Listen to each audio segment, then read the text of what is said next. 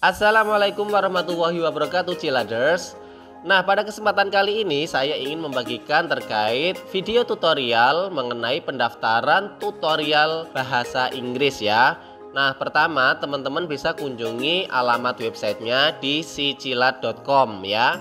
Pastikan tulisannya sicilat.com kemudian masukkan username dan passwordnya. Nah untuk username dan password dapat dilihat di website informasi programnya. Kemudian silahkan bisa masukkan username dan password. Kemudian klik kita ingin masuk ya.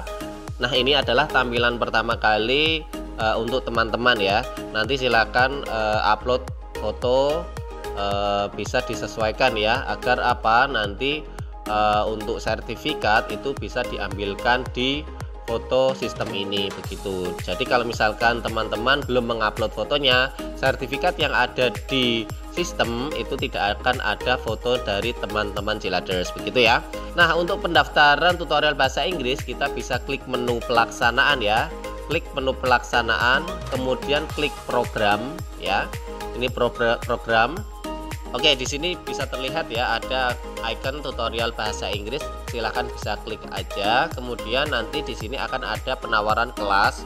Ada beberapa kelas ya tapi teman-teman jangan bingung karena di sini teman-teman hanya fokus pada prodi masing-masing saja. Begitu. Misalkan teman-teman uh, Ciladers adalah uh, eh, FK atau Fakultas Kedokteran ya silahkan bisa diklik daftar sekarang di FK begitu. Nah, jangan bingung juga nanti ada FK1, FK2, FK3, FK4 itu mewakili kelasnya. Gitu. Kita klik daftar sekarang ya. Nah, bisa dilihat ya teman-teman di sini ada notifikasi berhasil ya pendaftaran kelas TPI 22 FK. Nah, di sini teman-teman bisa dicek begitu ya. Di sini detailnya ya. Nanti di situ detailnya adalah apa? Itu detailnya nanti berupa jadwal, berupa lain-lain gitu ya nanti uh, untuk presensi semuanya di situ. Pastikan semua pendaftaran dari teman-teman sampai ada notifikasi berhasil.